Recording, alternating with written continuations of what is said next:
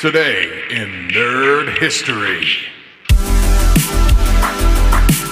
Happy March 21st, everyone. Let's dive into the treasure trove of today's date, filled with comic book heroes, laugh out loud moments, and digital milestones that have left their mark in the most delightful ways. First up, a round of cosmic applause for Tomar Re, who soared into the comic book universe for the first time in 1961 within the pages of Green Lantern, Volume 2, Number 6. Hailing from the planet Zunar in the far off sector 2813, Tomar swapped his scientist lab coat for the emerald glow of the Green Lantern.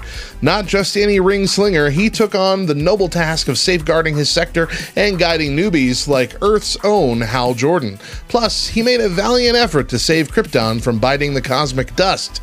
Talk about a resume. Fast forward to 1997, and the world was gifted with a comedic genius of Liar Liar. Picture Jim Carrey at his best, playing a lawyer who's suddenly cursed, or blessed, with the inability to lie for 24 hours, thanks to his son's birthday wish. Chaos and hilarity ensue, making us laugh till our sides hurt, and teaching us a lesson or two about honesty.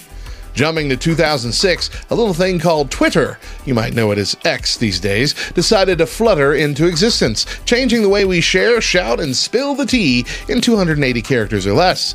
As for the fifth most visited website globally, it's the digital town square where everyone from your next door neighbor to global icons gather to chat, debate, and meme their hearts out. Hungry for more brainy snacks and fun facts from today's historical menu? Skid over to lovethynerd.com slash nerd history for your fill of nerdy delights. And if you're still hankering for a deep dive into all things whimsical and wonderfully nerdy, don't miss the latest episode of the Nerd History Podcast at lovethynerd.com slash nerd history pod. We're cracking open the secrets and behind the scenes giggles of The Office. It's a journey you won't want to miss.